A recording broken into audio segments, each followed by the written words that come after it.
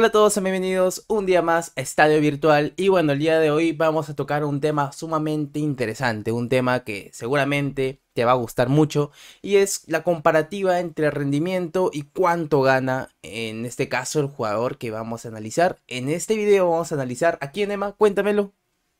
Al señor Usman Dembélé, actual jugador del Paris Saint-Germain, que salió en una muy mala condición del Barça salió en una pésima condición. Yo todavía no, no le perdono eso, pero no hay que ser muy anti-Dembélé para calificar su actual rendimiento, ¿no? Pero bueno, de eso vamos a hablar a continuación. Vamos a centrarnos ahorita en cuánto está ganando. Y es que Usman Dembélé está ganando 20 millones de euros al año. Que en meses serían 1.666.666. Y que no es poco. Claro, y que no es poco, la verdad. Obviamente no es poco. Estamos hablando ya de un, en todo caso, de ya hablando de millones, ¿no? Y bueno. Uno de los mejores pagados de la Liga de la Liga 1. Uno de los mejores pagados. Y además también viene, eh, pienso yo, de que de un lugar que si lo ponemos a ser relativa de que lo merece. ¿Por qué? Porque viene un Barcelona de un Barcelona que en el cual Dembélé era, por decirlo así, uno de los máximos referentes del equipo y sí, sí, se lo estaba cargando. Sí, pienso yo que sí se lo merece en este caso, pero con el rendimiento que está dando ahorita, no es el Dembélé del Barcelona, ni se acerca, ni está cerca de serlo. ¿Tú cómo lo ves?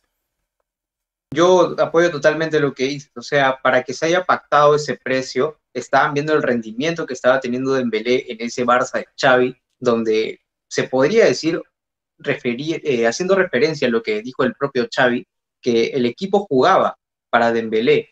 Dembélé era el centro del equipo y era un equipo que quería sacar lo mejor de Dembélé en su posición. Entonces, Dembélé aprovechó esa confianza en buena hora, porque tuvo seis años, seis temporadas en la que recién en la última un poquito que por fin agarró la confianza y se volvió el Dembélé del Borussia. Pero antes, pues, tampoco era la gran cosa. Pero sí bien dices, en la última temporada fue una muy buena temporada de Dembélé y es por eso que se le da pues esta oferta de 20 millones al año, pero yo creo que actualmente, bien como dices, eh, no lo merece, no merece ni la mitad, porque venga, tiene no sé cuántos meses ya y no ha anotado ni un solo gol, no tiene ni una sola asistencia, estamos hablando de un jugador de regular para abajo y estás jugando en el PSG, estás jugando en la posición en la que estaba Messi, el Messi que ganó el Mundial, Messi de altísimo rendimiento. O sea, yo creo que el Barça al final ha hecho la gran estafa. O sea, el PSG pensado que le había hecho la estafa al Barça, pero yo creo que a fin de cuentas fue el Barça el que estafó al PSG dándole un Dembélé que no rinde absolutamente nada. Claro, y también abarcando el tema de Dembélé, eh, ya no está joven, ya no es un jugador joven, ya no es un jugador que, que en todo caso pueda valerse dinero, ¿no? Como lo podría ser, por ejemplo, hoy en día eh, Bellingham, por ejemplo, o Gaby, claro. o es más Pedri, sí, sí, para que llegue a valer ese, ese precio, ¿no? Que tiene, ya que es un precio con vista futuro, ¿no? Porque sabemos que muchos jugadores tienen vista futuro y por eso valen más. Pero Dembélé ya tiene 26 años. 26 años ya no es una edad donde tú le proyectas tanto futuro. Una edad donde tú ya no dices, oye, este jugador aquí a 5 años, a 4 años me va a valer el doble. Sino ya entra en una edad donde ya su precio se queda estancado y ya se va al declive, ¿no? Y bueno, Dembélé en el PSG actualmente con su con el tridente que está haciendo con Asensio. Y el otro jugador, ¿te recuerdas cuál es? Claro, eh, Kulumani es el que está jugando en la, en la delantera. El jugador más querido de, de Argentina. De Argentina, el favorito de Argentina. claro, el, el, famoso, el que tiró y el Dibu se hizo la, la tajada que le dio, el, en este caso, el premio a mejor arquero del año, ¿no? Y bueno. Yo sé que está un poco fuera del tema, pero te has puesto a pensar en la, en la, en cómo se sentirá Kulumani después de haber hecho tremenda pechofriada. Uy, yo pienso de que todos los días soñará con ese, con ese tiro, ¿no? Porque imagínense, si metía el gol, eh, para mí el balón de oro hubiera sido para Mbappé. Sí, muy seguramente. Sí, porque a Messi se le da el, balón de oro por ganar el mundial y por el gran rendimiento que tuvo, ¿no? Que el mismo, para mí, estuvo el mismo nivel que lo tuvo Mbappé. ¿Tú cómo lo ves ahí? Ahí, pues, como, como bien dices, al final el que ganaba el Mundial era el que se llevaba el balón de oro, porque tanto Messi como Mbappé hicieron casi la misma cosa con el PSG, nada, nada increíble, se fueron rápido en Champions, que era lo que más se requería. Pero bueno, volviendo al tema de Dembélé, eh, yo creo sinceramente que no está valiendo el salario que se le está pagando. Que yo creo que podría dar más y no entiendo cómo es que Luis Enrique va a generar más confianza en el jugador. O sea, Dembélé está en su país, está en la capital de su país, está con jugadores, la mayoría franceses, está con sus amigos de la selección.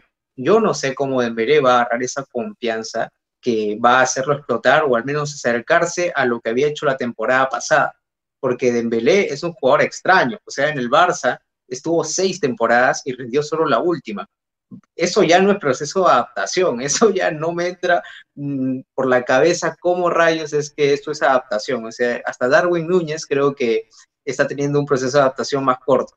Pero bueno, Dembélé para mí, un jugador que no es tan, no es tan regular y que no está mereciendo esos 20 millones al año.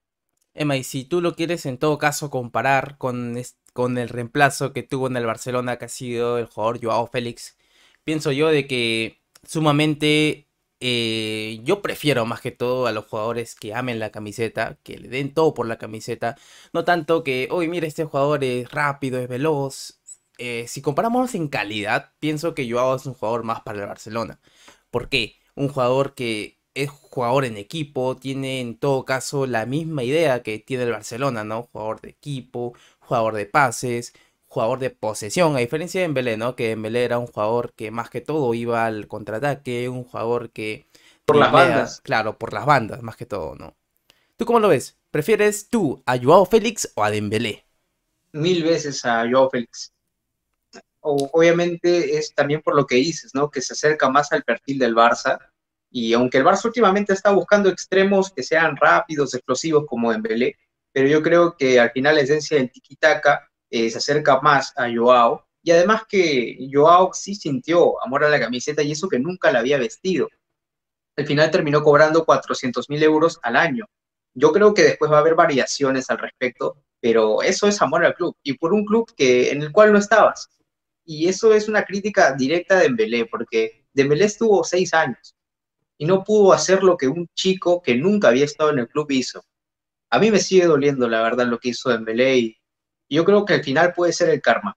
Puede ser que no le están saliendo las cosas por karma, porque estás traicionando a un club que te dio todo, que te dio todo aún sin merecerlo, que te esperó todo. Todito. Le dio prácticamente el Barcelona, le dio todo el cariño, y no solamente la parte del equipo, ¿no? Sino también eh, los mismos aficionados. Yo, a mí me gustaba ver a Dembélé jugar me gustaba ver cómo Dembélé en todo caso regateaba, dribleaba, era para mí uno, por no decirlo, el mejor jugador del Barcelona en ese momento. Jugaba demasiado bien, era una pieza fundamental. Y bueno, Emma, vamos a cerrar este video con la pregunta. Para ti, ¿tú piensas que Dembélé vale lo que está jugando, sí o no? No. Para mí también es un no. Y bueno, las razones ya lo hemos explicado. Y bueno, así que tú también quiero que lo comentes en, la cajita de comentarios que está acá abajito. ¿Cuál ha sido tu, tu valoración? ¿Cuál es tu punto de vista? Tu crítica para, en este caso, para Dembélé, ¿no? No olvides darle like a este video, suscribirte al canal, comentar también tu opinión. Y así que sin más que decir, nos despedimos. Emma, ¿algo más que añadir? Nada, creo que ahora el canal debe llamarse eh, Estadio Anti-Dembélé.